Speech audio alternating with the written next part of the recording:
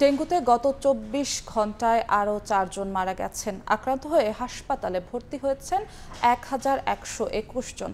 স্বাস্থ্য অধিদপ্তরের শনিবারের প্রতিবেদন অনুযায়ী হাসপাতালে ভর্তি হওয়াদের মধ্যে ঢাকা সিটি কর্পোরেশনের চারশো উনপঞ্চাশ জন, বাকিরা ঢাকার বাইরের।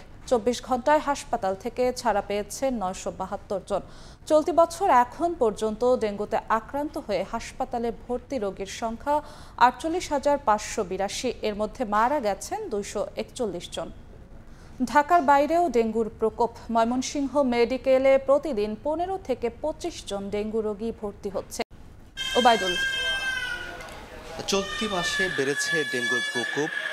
গত মাসের তুলনায় এই মাসে কিন্তু দ্বিগুণের বেশি ডেঙ্গু রোগী ময়মনসিংহ মেডিকেল কলেজ হাসপাতালে চিকিৎসা নিচ্ছেন এবং প্রতিদিনই কিন্তু গড়ে আমরা দেখেছি বিশ জনের বেশি ডেঙ্গু রোগী কিন্তু এই ময়মনসিংহ মেডিকেল কলেজ হাসপাতালে ভর্তি হয়ে চিকিৎসা নিচ্ছেন। যদিও বেশিরভাগ ডেঙ্গু রোগী ঢাকা, গাজীপুর থেকে সে ওই এলাকাগুলো থেকে এসে তারা এই ময়মনসিংহ মেডিকেল কলেজ হাসপাতালে ভর্তি হয়েছেন। আমি যদি এক সপ্তাহের ব্যবধানের যদি কথা বলি যে চলতি সপ্তাহে কিন্তু একশো জন ডেঙ্গু রোগী কিন্তু ভর্তি হয়েছেন ময়মনসিংহ মেডিকেল কলেজ হাসপাতালে এবং আগের সপ্তাহে চিকিৎসা নিয়েছেন তিরানব্বই জন ডেঙ্গু রোগী।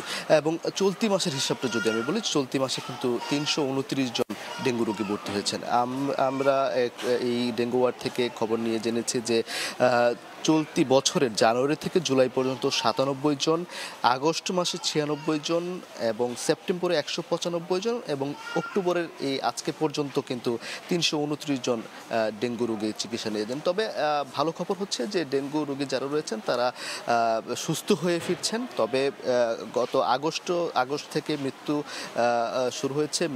গত আগস্টে দুইজন মৃত্যুবরণ করেছে, সেপ্টেম্বরে দুইজন এবং অক্টোবরের গত তেরো তারিখে কিন্তু একজন মারা গেছেন। তিনি এক যুবক ছিলেন মুক্তাগাছার হিরামিয়া নামের এক নাজমুল হোসেন নামের এক যুবক মৃত্যুবরণ করেছেন। তবে চিকিৎসক চিকিৎসক যারা আছেন, তারা কিন্তু সার্বক্ষণিক তদারকি করছেন, খোঁজখবর নিচ্ছেন এবং তাদের মূলত কি সমস্যা সেটি কিন্তু দেখছেন এবং প্লাটিলেট কমে গেলে করণীয় কি সেটি কিন্তু তারা পরামর্শ দিয়ে একে এই যে ডেঙ্গু ওয়ার্ড সেখানে কিন্তু সার্বক্ষণিক তারা কাজ করছেন যাতে করে আসলে যারা ডেঙ্গু ওয়ার্ডে ভর্তি হচ্ছেন তারা দ্রুততম সময়ে সুস্থ হয়ে ফিরে যেতে পারেন। সেজন্য কিন্তু তারা তারা এখানে সেবা দিয়ে যাচ্ছেন। তো এই ছিল ময়মনসিংহের ডেঙ্গুর পরিস্থিতি।